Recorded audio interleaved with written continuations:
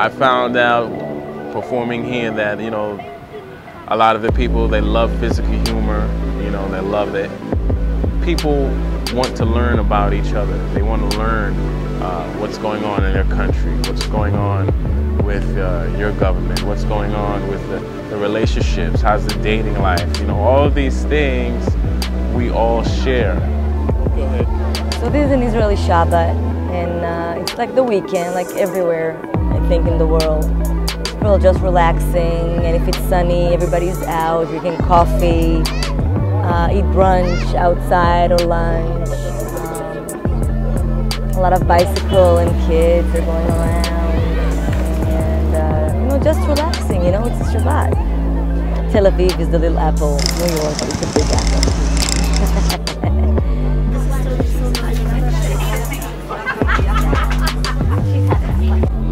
New Wayne, we just ate a hummus, a real hummus, warm with the, you know, the little hummus, uh, with a lot of good stuff.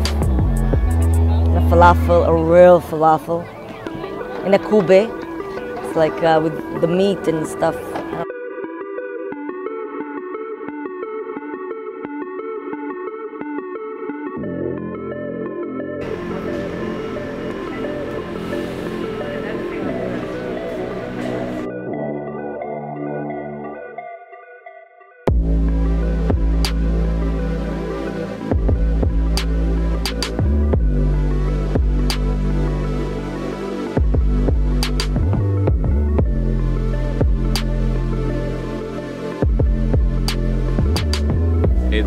Similar to South Beach in Miami, how South Beach has that strip of restaurants and hotels and like palm trees going down uh, the road. Uh, very beautiful place. Uh, Tel Aviv, very beautiful place. Uh, I love it. My name is uh, Michal, Michal Kirzon, Michelle Kirsten, and I do also stand up in English here in Israel. We are, we're actually having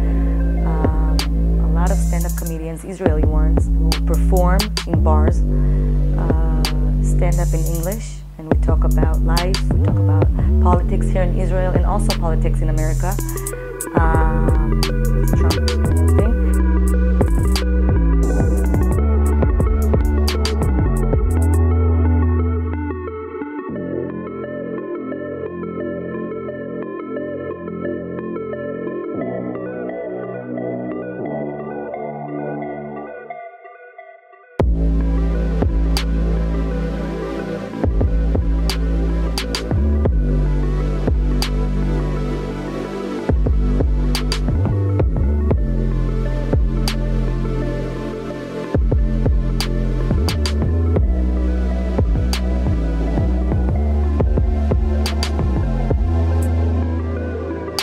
It up to my friend Benji Lovett! You're gonna love it!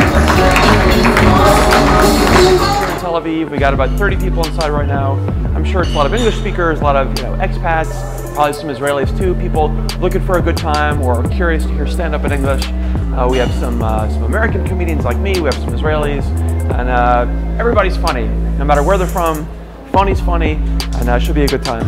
Give you everything. What do you want? Give you land, we're gonna give you food, electricity, whatever you like. We're gonna give you everything for peace. We are willing to have peace with you guys if you're all gonna die. No! This is our country, this is Palestine! I'm doing stand up for 17 years.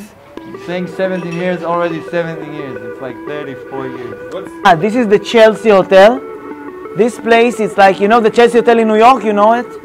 So they, This is the original. yes, before Chelsea Hotel in New York, it was here. Ah, here and then they Betzavta. prepared, Yeah. They They- still. oh, it sounds they, good. yes. Chelsea. It's Israeli. What is it? So they, they took it from us. Chelsea, it's a city in Israel, you know, next to Hadera, between Hadera to Be'er Yaakov. Hi, my name is Ari, and I'm a painter. And I decided to do something that no other painter before me ever done. It's to put skill back into art. Let's say, not since they invented the camera that you're pointing at me.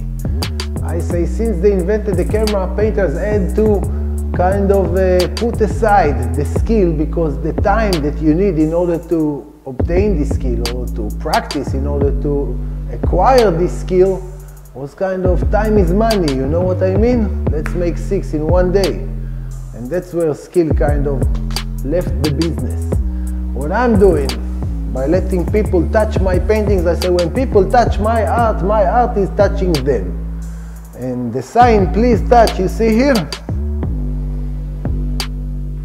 That's something that makes everybody understand why I'm an artist. The second they touch the paintings, they understand, they know. We all know what's in our hands since we're like three years old.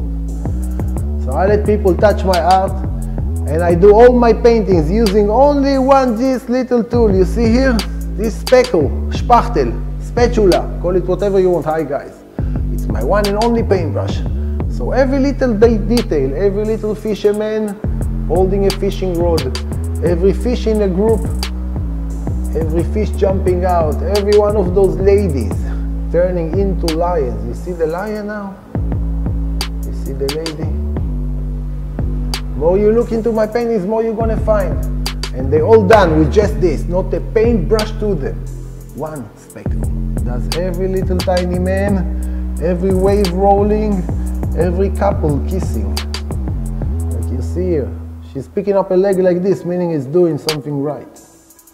I'm trying to do something right. Put skill back into art and to do something that no other painter ever did before. Let you judge for yourself. Touch it. Enjoy it. You don't need an art degree. You just need common sense. It's about time that common sense will make a comeback into art. Fresh. With a blade. With a smile. That's all I'm trying to do. If you want to see more, just Google who is the greatest artist in the world. And then you're going to get to my website www.thegreatestartistintheworld.com. Happy to meet you all. Bye bye from Israel.